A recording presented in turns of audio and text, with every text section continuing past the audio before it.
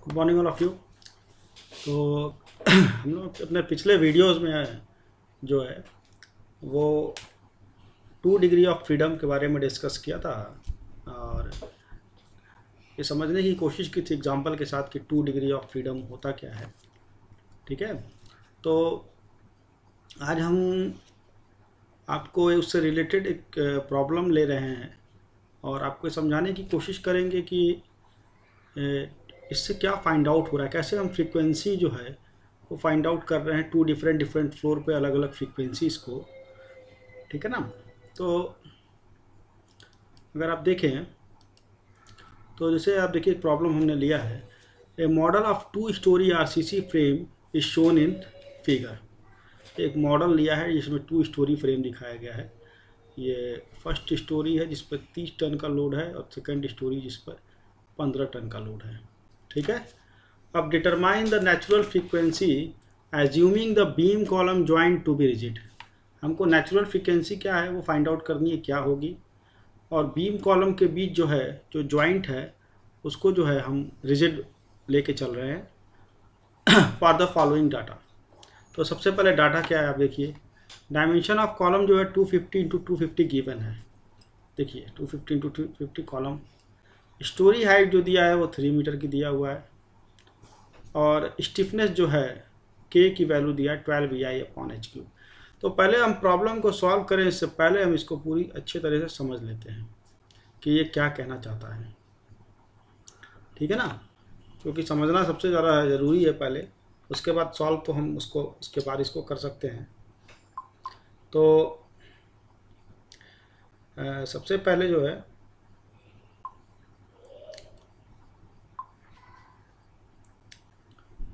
Just one minute हाँ। तो आ, सबसे पहले देखिए के की वैल्यू चूँकि प्रॉब्लम में गिवन है twelve E I upon H cube ठीक है ना?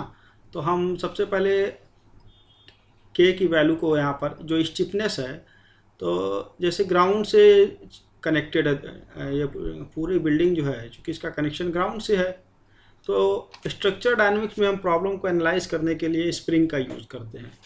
तो इसको हमने देखिए दूसरे फॉर्म में यहाँ पर बनाया है फिगर के साथ। अगर आप मेरा वीडियो देखेंगे जिसमें हमने two degree of freedom explain किया था तो वहाँ से समझ में आ जाएगा आपको कि जो फ़र्स्ट स्टोरी है उसके मास को यहाँ पे क्योंकि हमने फिगर से समझाया है M one equal to thirty ton second storey M two जो है उसके, वो है जो है पंद्रह टन फिफ्टीन टन का यहाँ पर है ठीक है? ये इस, इसकी स्टिफनेस है के के ये ग्राउंड है। ठीक है ना? तो सबसे पहले अब आप इस इस स्ट्रक्चर को इस फॉर्म में भी बना सकते हैं तो स्प्रिंग के स्प्रिंग के फॉर्म में कन्वर्ट कर सकते हैं क्योंकि ये जो कॉलम है एज ए स्प्रिंग काम करता है। पॉइंट वो ध्यान दीजिएगा। कि बिल्डिंग का जो एज ए कॉलम वाला पार्ट होता है, वो स्प्रिंग की तरह काम करता है। ठीक है ना? ये ग्राउंड है। ठीक है? तो अब हम आते हैं के की वैल्यू के लिए। Twelve E I upon H cube E क्या है? मॉडलस ऑफ़ इलास्टिसिटी है। जब पढ़े होंगे I S four five six में ई e की value five thousand under root F C के और एफ़ सी के का मान हमने ट्वेंटी फाइव लिया हुआ है यहाँ पे। ठीक है ना? तो एफ़ सी के की वैल्यू पुट कर दिया। ये आ गया two five triple zero newton per M M square, या मेगा पास्कल बोलते हैं इसको। तो इसको हमने कन्वर्ट कर दिया न्यूटन पर मीटर स्क्वायर में, ओके? अब देखिए मॉडुलस ऑफ़ इलास्टिसिटी इलास्टिसिटी या इलास्टिक मॉडुलस क्या है? Is the measurement of stiffness of a material किसी भी मटेरियल की स्टिफनेस को मेज़र करने का एक पैरामीटर है, ठीक है ना? कि किसी भी मटेरियल की स्टिफनेस को हम कैसे मेज़र करेंगे? क्या कितना वो स्टिफ्स है? अलग अलग मटेरियल के लिए मॉडल्स ऑफ़ इलास्टिसिटी भी डिफ़र डिफ़र होती होगी, आप जानते होंगे, ठीक है ना? तो हम यहाँ पर सबसे पहले स्टेप वन में क्या करेंगे?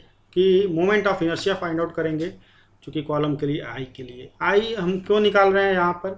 क्योंकि अगर आप ये देखें कि फार्मूला जो स्टिफनेस का है twelve E I upon cube तो हमको दो चीज़ों की सबसे पहले ज़रूरत पड़ेगी, एक तो ई की और दूसरा आई की।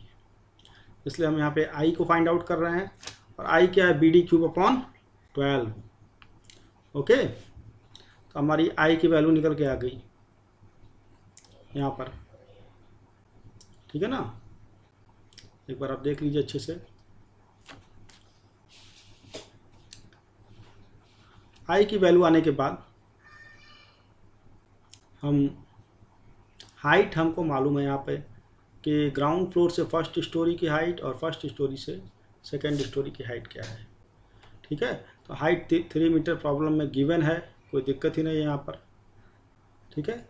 स्टिफनेस ऑफ़ ईच स्टोरी जो है वो तो के होगी। ठीक है ना? इसकी स्टिफनेस के, इसकी stiffness K total stiffness K plus K equal to now two K ठीक है? तो के की वैल्यू हमने यहाँ पुट कर दी है डायरेक्टली टू इंटू के के की वैल्यू जो है ट्वेल्व ई है E I upon H cube इससे आ गया हमारा twenty four E I upon H cube ठीक है ना? ये पूरी वैल्यू हमारी आ गई।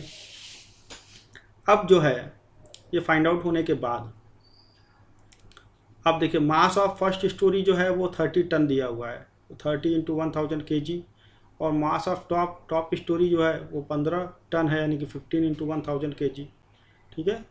अब देखेंगे हम स्टिफनेस मैट्रिक्स और मास मैट्रिक्स तो हमने लास्ट वीडियो में आपको ये समझाया था कि स्टिफनेस मैट्रिक्स और मास मैट्रिक्स कैसे बनाते हैं। हाँ? और वहाँ से हम इसको, इस वैल्यू को इसके अंदर पुटअप करेंगे। जो इन लोगों को दिक्कत है, वो हमारा पिछला वीडियो देख सकते हैं, वहाँ से आपको समझ में आ जाएगा। कि स्टिफनेस मैट्रिक्स और मास मैट्रिक्स कैसे हमने फॉर्म किया था।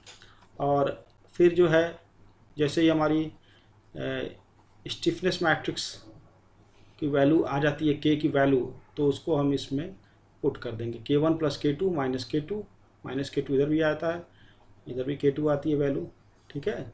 अगर नीचे स्प्रिंग और होती तो वो के थ्री के फॉर्म में आता, ठीक है? और मास मैट्रिक्स जो है ये एम वन ये एम टू ठीक है ना? तो इस तरह पुट कर दिया हमने इसको एम वन एम टू को। ठीक है? फ़र्स्ट स्टोरी वाला एम वन सेकेंड स्टोरी वाला एम टू तो एम वन एम टू ठीक है? पुट कर दिया यहाँ पे। उसके बाद देखिए हमको क्या फाइंड आउट करना है? ध्यान दीजिएगा। For determination of natural frequency तो ये हमारा फार्मूला है के माइनस ओमेगा स्क्वायर एम, ठीक है ना? तो यहाँ से हम जो है इसको वैल्यू को पुटअप कर रहे हैं सीधे आप डायरेक्टली अब देखिए for determination of natural frequency the determinant of the एव मैट्रिक शुड बी ज़ीरो तो हमने यहाँ पहले के की वैल्यू पुट कर दिया माइनस ओमेगा स्क्वायर एम की वैल्यू मैट्रिक्स फॉर्म में पुट कर दिया। और ये जो होना चाहिए is equal to now zero के तो सिंप्लीफाई किया है हमने। और सिंप्लीफाई करने के बाद जो है, हमारे पास एक इक्वेशन बन करके आएगा। जब आप इसको सॉल्व करेंगे, ठीक है ना? तो जब इसको आप सॉल्व करेंगे तो एक इक्वेशन बन के आएगा और उस इक्वेशन को सॉल्व करेंगे ओमेगा वन और ओमेगा टू के लिए तो हमारे पास दो वैल्यू आएगी। ओमेगा वन आएगा eleven point eight eight four और ओमेगा टू की वैल्यू आई है twenty eight point six nine zero ठीक है ना? तो क्या फाइंड आउट हुआ कि ओमेगा वन जो है फ़र्स्ट फ्लोर के लिए नेचुरल फ्रीक्वेंसी है ओमेगा टू ऊपर वाले फ्लोर के लिए नेचुरल फ्रीक्वेंसी है, ठीक है?